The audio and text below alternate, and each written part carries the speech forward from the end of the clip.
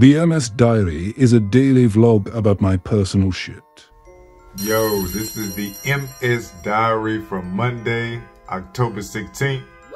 I want to kick things off this Monday by reminding everybody in these wheelchairs, everybody with this chronic illness, if you want to be a better parent, if you want to be a better spouse, a better person, if you want to be a better caretaker, you will have to do the work.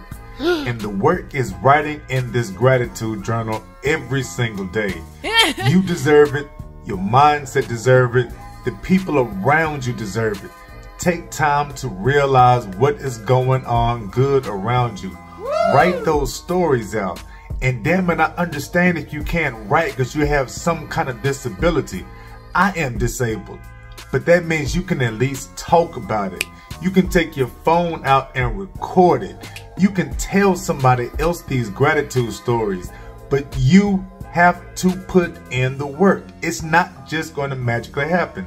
And just watching me talk about the gratitude journal stories is not going to hit you the way that you think it will.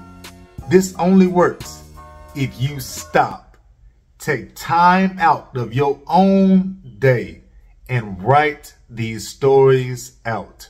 Record these stories of why you are grateful. You deserve this. Your mindset deserves this. Your future deserves this.